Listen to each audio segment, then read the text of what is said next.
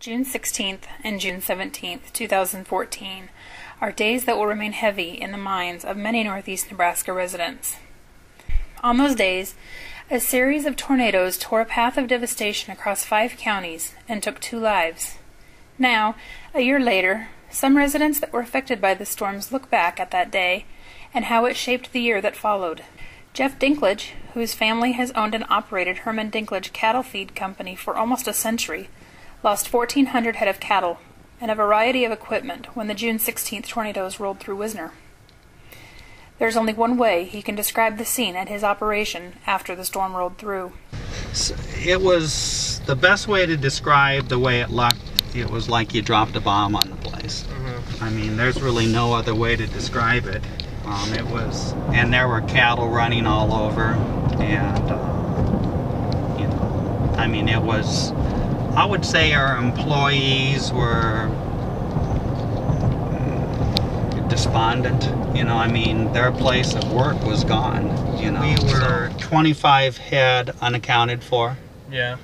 And there was some talk that some of them were found in the river by West Point. Now, at 60 years old, and as the fourth generation at the helm, Dinklage is starting over. Because we lost two facilities, we want to rebuild one so I don't have duplication of uh, infrastructure. So one of the challenges I've had is uh, working through zoning and working with my neighbors to rebuild one facility. Dinklage said everyone is handling the emotions brought about in the wake of the storms in their own way. Everybody deals with it differently. You know, some folks I think some people took it pretty hard. Some people dealt with it early. Some people are dealing with it over time. You know, it's just, um, you know, everybody has to grieve with their losses, you know, in their own way. Yeah. You know, some people have asked, you know, how can you prepare for a natural disaster?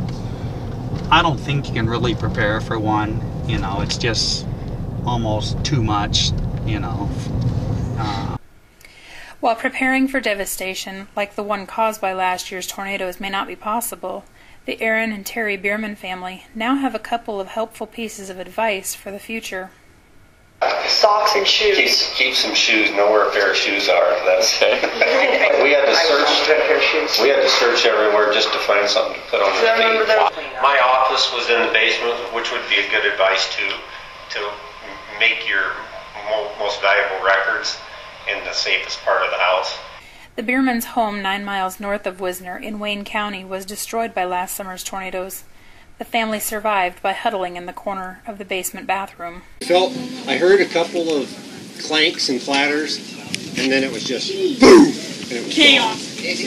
Yeah, it was just everything just it couldn't have taken ten seconds, and it was just gone. And the next thing you know, it was just whoosh. We looked up and you saw sky a few drops of water coming on us. And that was it. That was it. I mean, it just happened so damn fast. Was... For Robert and Millie Thompson, last summer's storms led to the destruction of their home as well. It was the place in which they'd built their lives. The Daily News caught up with the Thompsons shortly after last year's storms, and it was then that Millie said she and Robert intended to spend the rest of their days in their rural Wayne home. Uh, I, my parents were poor and we didn't have running water or anything. And I came and I had one little suitcase and I said I set it in the kit down in the kitchen and I thought I was in heaven because we had running water and electric lights. so I said I never left because of that. Here, here, God did this. Yeah. I think God knew it was time for you to move into town, Mom. That could be. Yep. We actually wanted to stay out here forever till we died. Yeah. Oh. That was the plan. A year later, the Thompsons live in Wayne, on the edge of town with a cornfield butting up to their property. While the couple are happy in their new home, there are things that just don't compare to the one they lost. This time of year uh, has been the worst for me because I had so many flowers out there. And yeah, no, I can't have flowers. and memories of the tornado remain fresh in their minds. What was the thing that you were happiest to find? Oh, Tom, Tommy Tom? Oh, Tommy Tom, yeah, definitely.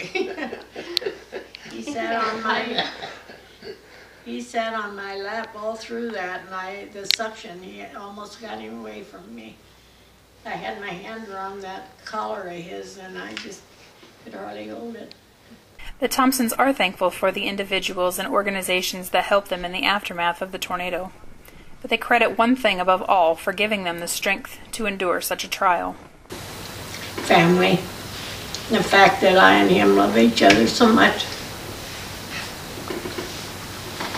Reporting with the staff at Norfolk Daily News, I'm Katherine Harris.